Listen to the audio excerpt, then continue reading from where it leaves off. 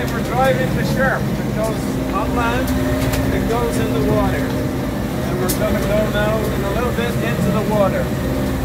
So it's icy water. So if something goes wrong, we're all dead. But don't worry about that because we trust in the SHERP because it's a great technology. It's Ukrainian technology and you're gonna see how this uh, works. Now, demo that. Okay, we're gonna go in the water now. Okay, here we go, icy water. Now watch, we're either gonna sink or we're gonna drive in the water.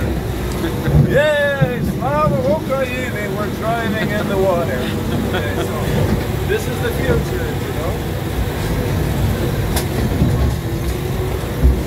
So we're driving in icy water and the SHERP is just putting through the water and we're still alive, which is always a good thing.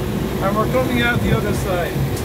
So I'll see you next week. I'm going down to Oleshki Sands in one of the thousand of days. So uh, we're gonna take Ukraine back. Hey, we're out of the water. We're on the sands. Let's go. Slava Ukraini! Slava!